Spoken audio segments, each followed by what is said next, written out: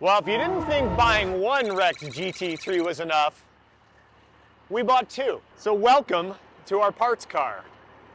So this is also a 992 GT3, and as you can see, it was crashed in the rear.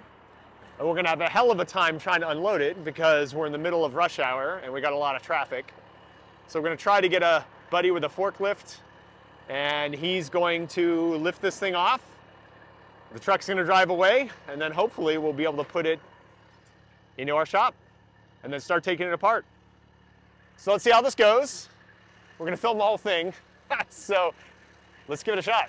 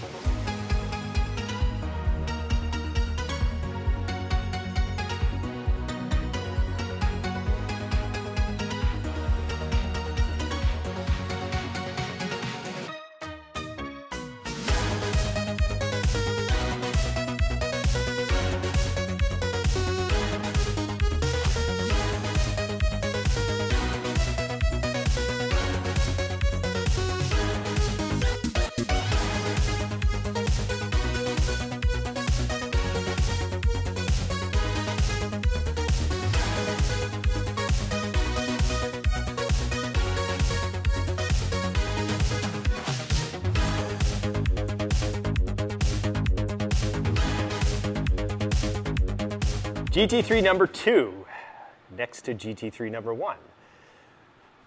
So conveniently, this guy looks pretty good from this angle. Front's okay.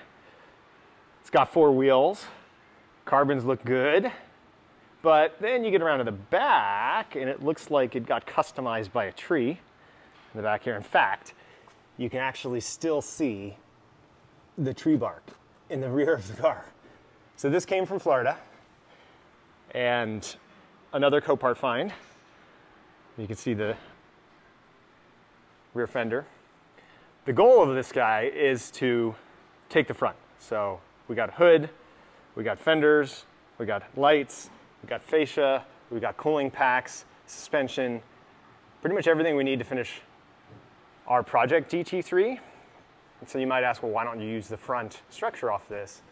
Well, after removing the one from that car, find out how much you really can't reuse these. So we ordered a brand new one. But now we just got this thing, put it up on the lift, and we're gonna check out what's underneath. I'll show you guys the spec. This is a pretty base spec. So it does have buckets, which is nice, and it's got nice inserts. It's PDK though, it has nose lift, and that's about it. So no extended leather, no real custom details. Uh, I like the white though, the stitching, the chalk stitching is good. Chalk is a good color. Wish it had a carbon roof, but oh well. So now, let's put it up in the air and let's see what we got. Got it up in the air and now we can take a better look. So got pretty hosed in the rear. There's more bark. Here are the exhaust tips, by the way. So comment below and perhaps the best comment, I might take those off and just send them out to a subscriber because that's hilarious. See some damage in the engine here. This is the water pipe, but hopefully underneath might not be too bad. But what I really care about is, as you can see, let's turn this sideways, the suspension looks all right. We've got some scrapes underneath, which almost surely, because you can see where the fork came from Copart, our friends. There's one there, and then there's the other one. So they just really don't care about cars that they pick up, and here's another fork scrape. So that's really frustrating, but if we go to the front of the car, it still has all of the aero ducting underneath. It's got the brake ducting here. Carbon ceramics look good, suspension looks good. nothing really going on up here that I can see, which is nice. We've got good in the front end. Looks like this was hit, I'm guessing again, from our friends at Copart. But otherwise, the radiator packs, everything looks to be intact. There's some, some junk in there. You kind of see, hard to see in the back, but oh, there you go. Nice little protein snack. And then even the tires look all right. Wheels are fine. So what we're gonna do, we're gonna start, just because we're really curious, is we're gonna take off these covers and we're gonna take a look at the engine, just see how bad it is, if it's salvageable, get a look at the subframe in the back and really see where we are, because it looks like the front's fine. Uh, and then we'll start disassembling it so we can put it into the new GT3. So let's get going.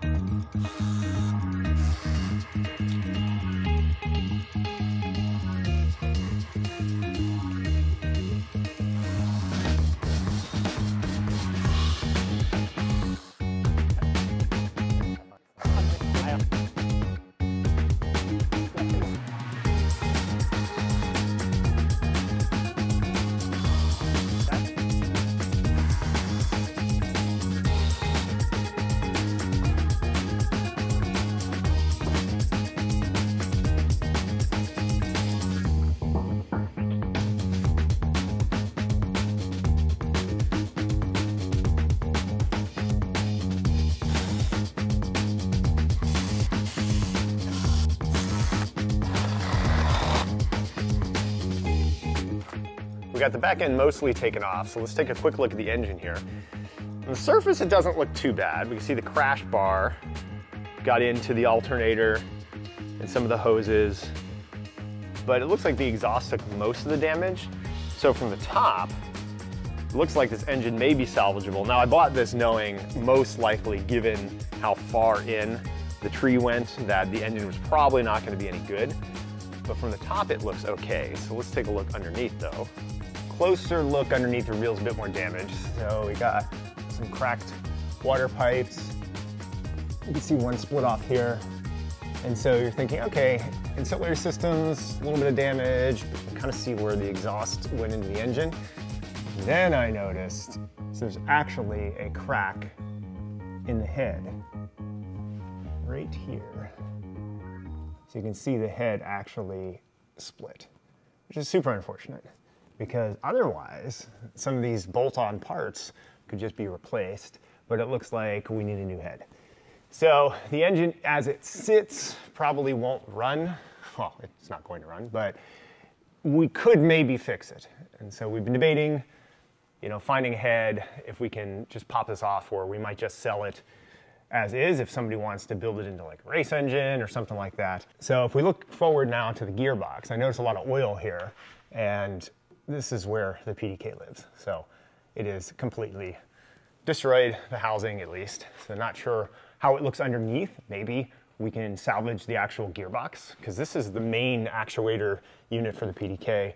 So it might be still okay under there, but we wouldn't know without taking it apart. Uh, but the body structure though is done. So you can see here, it's just opened up where the fender joins, there's more damage and bending uh, it's all bent underneath, so the floor pan, everything is kind of pushed forward. And if you get inside, you can see where the gearbox actually shoved into the back of the car. So some might think you could repair this. Oh, there's also, there's cracks in the casting. You see where it's pulling away. The whole rear crash structure is pushed in.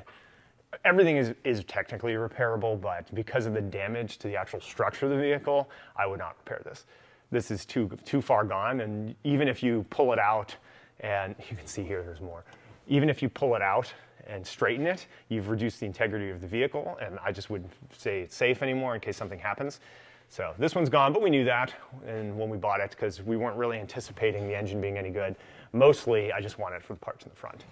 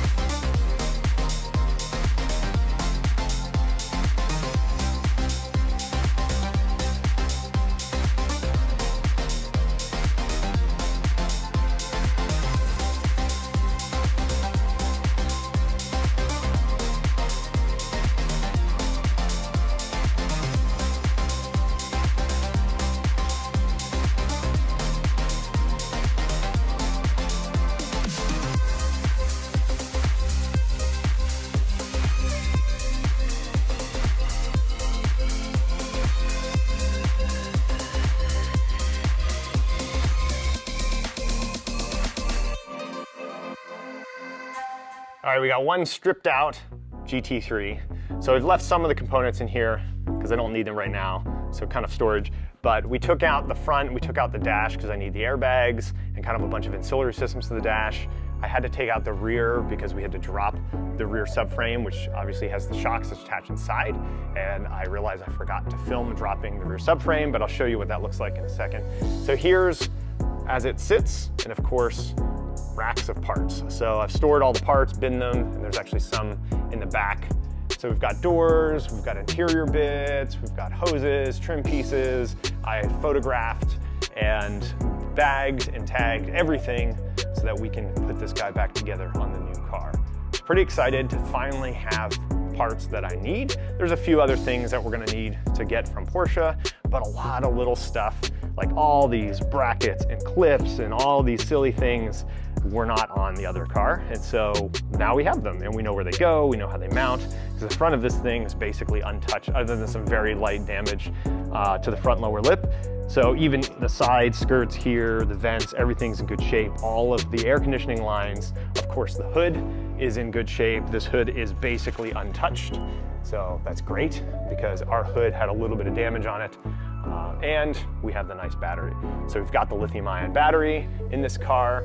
So all in all, this has been a pretty good buy and the windshield's still good. So could probably reuse this windshield as well. So we'll have to take that out carefully, see if we can get into the new car. So I realized I forgot to show removing the rear subframe, but here is the front and rear subframe of our Chalk GT3. So the front's right here, and actually it's in very good condition. There's a little bit of corrosion here because I think it got wet when the car was sitting at Copart, but otherwise, it's great. The ceramics are good, brakes are good, steering rack's fine.